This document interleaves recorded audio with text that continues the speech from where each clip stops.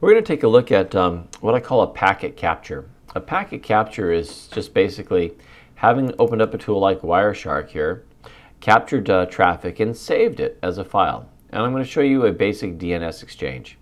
So when you open up Wireshark, remember it wants to know which network cards you're interested in monitoring. But I actually don't care at this point about monitoring any uh, particular interface, so I'm not going to turn that on. You can also go up here to capture, click interfaces, and it shows you all the interfaces and um, you can choose to start or stop whichever one you want to. Pretty easy to get around. It's uh, probably in your best interest to really get to, to know um, one program or two programs that do this type of uh, analysis just so that you can uh, work with it. Now I'm going to go to this little program I have WS Capture. I'm going to open up this DNS um, packet capture and it's just like I told you, very simple, straightforward. A, a uh, standard DNS query is the first packet and a DNS response. Okay, so the standard query is just what it sounds like. I'm going to make this middle section a little bit bigger so I have some room to expand it. We know at, um, at the Ethernet uh, information we have these, uh, these MAC addresses. Now, remember how uh, this all works when it comes to the actual MAC addresses. Uh, the source IP address, the destination IP addresses, these are on different subnets.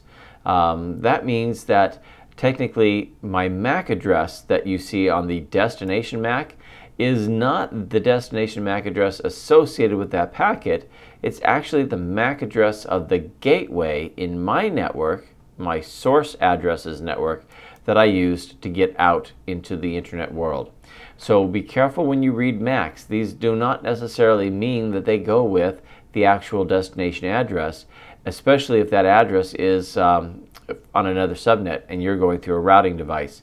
So that's just the address of my router, but the address of the destination is valid for the IP layer, just not at layer 2. All right, Internet Protocol. Again, it's uh, IP version 4, uh, which we can tell by looking at this uh, 4 byte address, this 4 octet address. Uh, IP version 6 is a lot longer than this. It's um, Instead of 32 bits like this one, it's 128 bits. We aren't doing any type of quality of service, which is where the uh, differentiated services falls. Uh, no flags to tell us about fragment offsets. Time to live uh, is a nice easy way of saying after 128 routers, if I still haven't reached my destination, I'm giving up and many other types of flags that um, you can get into by learning more about uh, the different uh, layers. I'm just trying to give you an overview while I'm getting through this.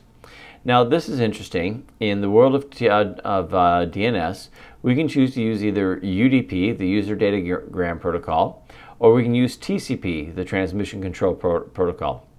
The User Datagram Protocol is what we call an unacknowledged or best effort protocol. Now it still uses uh, port numbers, and again, the uh, port numbers, this rapid base just happens to be some application associated with this port number. It does not at all mean that my source, um, my source machine is running some program called rapid base. Again, remember that Wireshark tries to replace um, port numbers with the well-known names. It doesn't mean that's what it's running. Destination port 53 is always DNS, um, and that's in the uh, the realm of the, of the first 1024 port numbers that we called the well-known. All right, so anyway, so source port, destination port using UDP means there's no flags, there's no three-way handshake, there's no acknowledgement. I'm sending the packet and I have no idea whether the destination got my, my uh, packet or not, other than uh, it appears that it did because somebody responded back to me, uh, and that was the uh, um, the next packet down, the domain name system response. So if I had not had that, I might have thought, well, it, it didn't work. Uh, there's no acknowledgement. Anyway, uh, this is the query, right? I'm sending the DNS uh, query. I have just one question, as it says here, under the flags, and I'm going to expand the queries tab and come down here, and it looks like what I'm looking for is the IP address for this domain name. So that's what I'm uh, basically asking for. And uh, down at the very, very bottom, uh, what you're seeing here is the actual breakdown of what the packet looks like in its hexadecimal and a, if uh, available, a text translation of those values. Okay, so let's look at the uh, response. Now, the response coming back from us uh, is again, um, UDP. Source port is uh, the DNS server responding to me at this uh, at my advertised uh, source port. That's its destination. And um, when we look at the uh, response time, we see that uh, that it is an answer.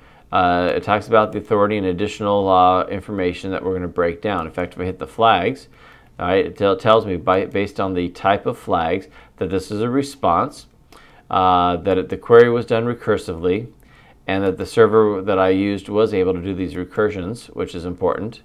Here's the query that I did. The query that I that you're responding to is this one to this uh, hotmail.com or hotmail.msn.com. I was looking for a type A, which is a um, DNS host record. And then I'm going to expand the answers, and the answers section here, expand it, is telling me that that uh, address or that URL has this address. So there we go. That was a nice, easy uh, response. Now, I just brought that uh, answer, I, I just uh, brought it back up, so I, I collapsed it. Authoritative name servers.